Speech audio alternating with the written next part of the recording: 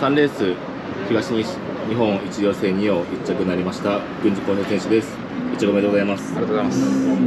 本日はどういう組み立てだったでしょうか？まあスタート様子見てまああの誰も前取り行くような感じではなかったので前受けになってしまいましたけどは理想は中段からっていう感じでしたかね。い、はい、まあ誰か出てくれればまあ中段からの方がやりやすいかなとかあのイメージしたんですけどまあ出なければ前でもしっかり力出し切りますっていう感じではあの伝えてたので、はい、小林選手が切りに来て、まあ、すかさず、えー小松崎選手が叩きに行ったと思うんですけどもそこをバック前あジャン前から追追ったと思うんですけどもやっぱあそこはもう7番手になったら厳しいという感じですかね？あもちろんそういう頭もありましたし、まあ、小松崎さんも絶対切り行くとは思ってたので、まあ、そこにまずは、まあ、ついてってっていうよりもう切った上あのすぐ流したところ行けるようにと思って準備はしてましたね。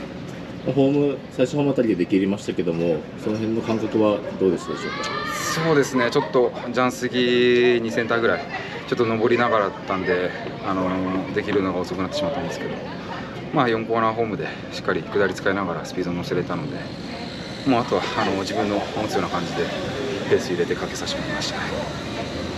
あ1周半以上、まあ、先行する、まあ、もう形で最後なんとか押し切ったという感じですけども、まあ昨日の、まあ、1走目の番戦と比べて足はどうですか？ね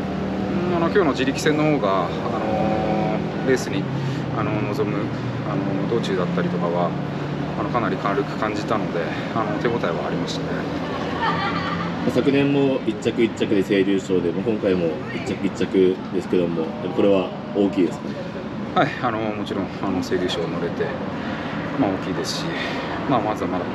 あの準決勝、決勝も控えていると思うので、まあ、そこに向けてしっかりあの体調整えてあの気持ちも高めていきたいなと思います。ではえー最後にこの後残り3戦に向けての意気込みをよろしくお願いしますはい、残り3日間しっかりとあの気持ち切らさずに集中して走ります。よろしくお願いします。